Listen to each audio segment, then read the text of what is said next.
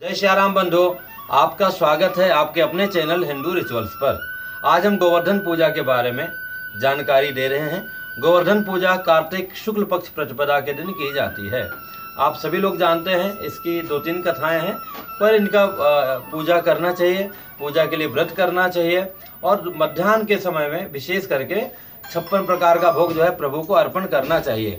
इसमें भी मुख्यतः उसी तरह से पूजा किया जाता है।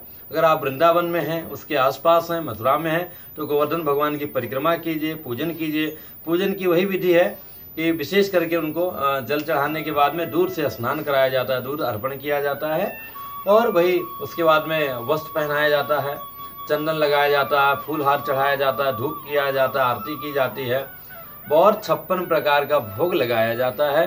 कई बार लोग छप्पन प्रकार के भोग में जो है चटनी वगैरह भी जोड़ लेते हैं।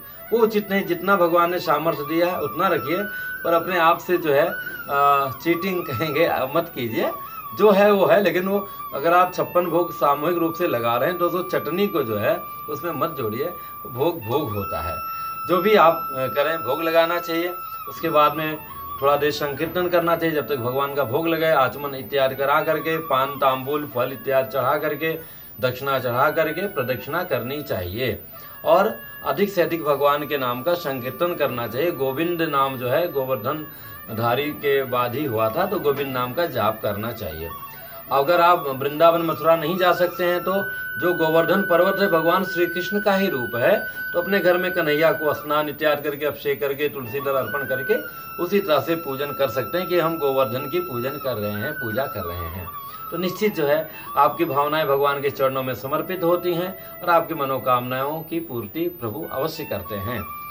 और गोवर्धन के लिए जो कथा आई है, सर्वप्रथम भागवत जी में कथा आई है कि भगवान ये कार्तिक शुक्ल प्रतिपदा को इंद्र की पूजा होती थी तो भगवान ने जो है नंद बाबा से कहा, बाबा, ये हमारे जो गोवर्धन जी, जहाँ हमारी गैये, गैया, गौ माता चरने के लिए जाती हैं, उनका रोज दर्शन होता है और वहीं उन घासों को चर के जो है गौ माता दूध देती हैं तो हम क्यों ना प्रत्यक्ष इनकी पूजा करें? सब लोग कन्हैया की बात मान लिए, फिर इंद्र नाराज़ हो गए, बहुत बड़ी वृष्टि की। फिर वहाँ भगवान ने उंगली पे उठाया सारे सारे ग्वाल बाल लोग जो है, अपना डंडा, अपना लाठी लगा करके सब लोग को लगा, हम भी कर रहे हैं।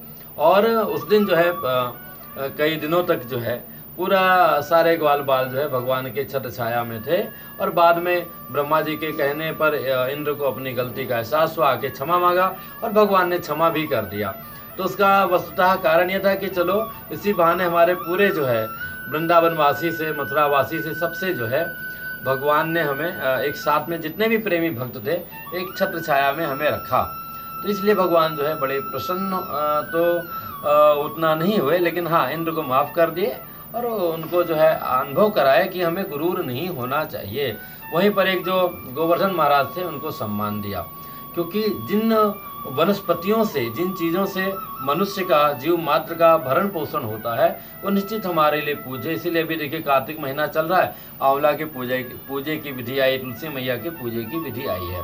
दूसरी कथा एक ये भी है भगवान श्री राम जब लंका विजय करके आए तो दीपावली के दिन सब लोगों ने आरती उतारा और अगले दिन कुछ ना कुछ उपहार लेकर के भगवान के लिए आए तो छप्पन प्रकार से कई ज़्यादा भी उपहार हो गया था।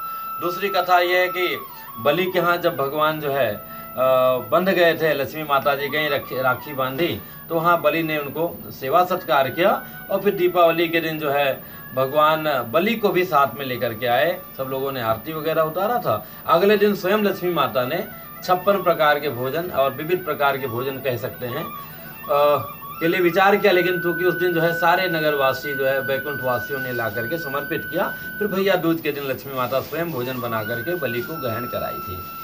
तो ये ये भी कथाएँ आती हैं, और भी कई सारी कथाएँ आती हैं, पर सबका निचोड़ ये है कि जो गोवर्धन है, वस्तुतः जो है भगवान श्री कृष्ण के ही रूप हैं, और जो भी हमारी प्रकृति है, हमारे, हमें वृक्षों की रक्षा करनी चाहिए पेड़ पौधों की जीव जंतुओं की रक्षा करनी चाहिए, जिनसे ये पूरा संतुलित है हमारी पृथ्वी। और देखा जाए तो सिया राम में सब जग जानी, चाहे वृक्ष है, चाहे कोई चीटी है, चाहे धूल मिट्टी है, सब में भगवान का ही वास है, जहाँ राम नहीं है, वो मरा हुआ है। तो बंधु इसलिए यथासंभव गोवर्धन की पूजा कीजिए ही, अथवा गोवर्धन स्वरूपी श्री कन्हैया की पूजा कीजिए। लेकिन अच्छी बात है, पूरी प्रकृति का संरक्षण कीजिए, कहीं गंदगी मत फैलाइए, वृक्षों के ऊपर दया कीजिए, और यही हमारी सच्ची पूजा होगी, जो हर दृष्टि से हमारे लिए कल्याणकारी होगी। जय श्याराम बंधु, फिर मिलेंगे आपको एक नए संवाद के साथ में।